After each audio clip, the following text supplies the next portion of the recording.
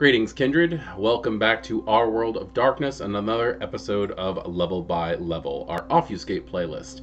I am Voivode Mekhet, and tonight we are going to go over Cloak the Gathering, a level 5 uh, power for Obfuscate in Vampire the Masquerade 5th Edition. Um, this power hasn't really changed much. There are a few fine tuned tweaks, but primarily the use of this power is to make sure that your entire coterie can use the benefits of your obfuscate power. So let's go ahead and see what the book has to say about this. The vampire can shelter their companions under the cloak of obfuscate. Short, simple, and sweet. I do like the fact that it says, in general, Obfuscate. It does not say Cloak of Shadows. It does not say Unseen Passage. It does not say Silence of Death. It says Obfuscate. So, does that mean that it allows all Obfuscate? As a storyteller, I assume that it does. As a player, I assume that it does. So, various powers of Obfuscate should be able to use anything anything below the level 5 powers of Obfuscate should be able to use uh, this kind of thing, unless you're talking about amalgams. I generally do not count amalgams as things that you can just share. Uh, individuals need to be able to use their own gifts when it comes to things like that.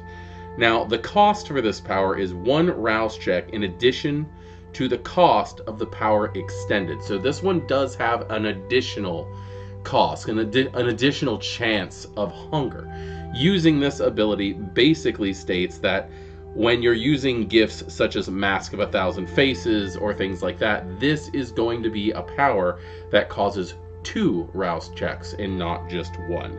The system states the vampire can extend their power of obfuscation to a number of additional willing subjects equal to their wits, plus one for each additional rouse check made. The obfuscate power used on the group can be any known to the user, and every member of the group counts as having used it on themselves. Using the obfuscating vampire's rating as their own when needed for a roll. Members of the group can still perceive each other while under the effects of this power.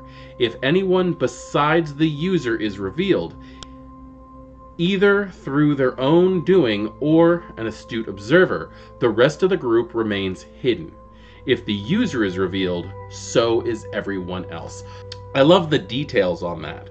That does give a lot more information than earlier uh, uses of obfuscate did. Before, it was pretty much everybody can be invisible, but now it does say that the user can use any of their known obfuscate.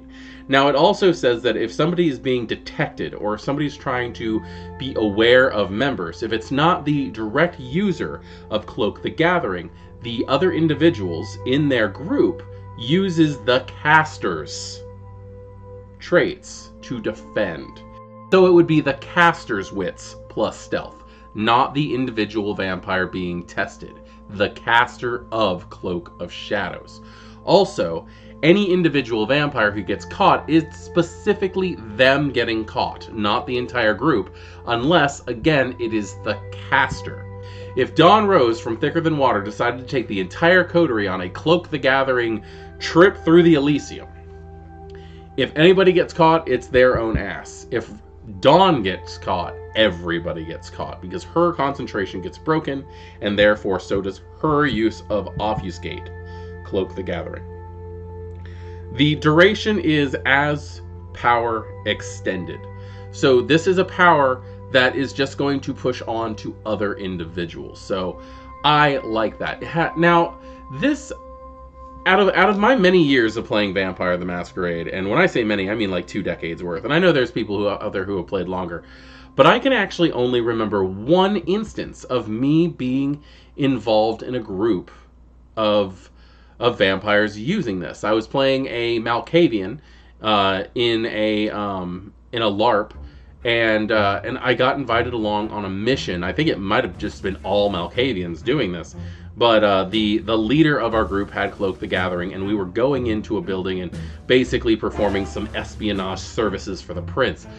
Um, that was the only time I can remember using this, but this power is so damn useful, especially if you can get past the concept of vampires being out for themselves, which is very hard and should be very hard because vampires by nature are solitary creatures, but they're constantly fighting that human part of themselves that begs for companionship.